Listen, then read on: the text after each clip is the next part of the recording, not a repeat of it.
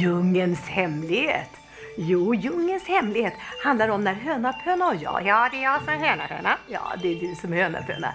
Vi tar oss, hej hej, hej hej, hej hej, ja ja ja ja ja, vi tar oss, hej hej.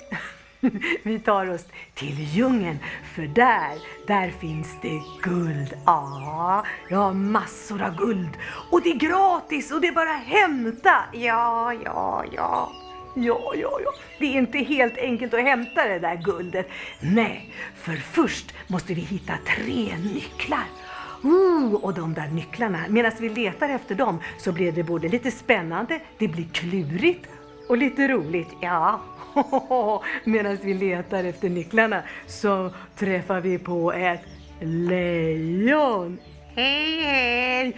Lejonet, hej på dig. Blir du rädd för lejon? Nej. Oh.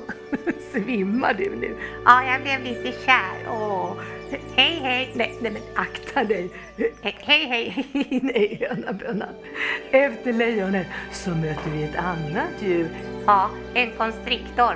Ja, en boa, en lång och slingrig dam. Atjo! Hej då! Hej då! Efter boa så möter vi busen lusen. Ja du höna pöna, alltså du blir ju ofta rädd på den här resan. Nej, jo det blir det. Och ja, jag måste ofta säga så här, stopp, stanna, eh, tänk med din panna. Och sen, ska vi säga hur det slutar? Nej, nej, vi ska inte tala om om vi hittar det där guldet och vi ska väl inte tala om vad det är för slags guld. Nej, nej, nej det ska vi inte. Men vi kan i alla fall säga det att med hjälp av publiken så kommer djungelns hemlighet att bjuda på en riktig överraskning. Ja, ja. Vi ses!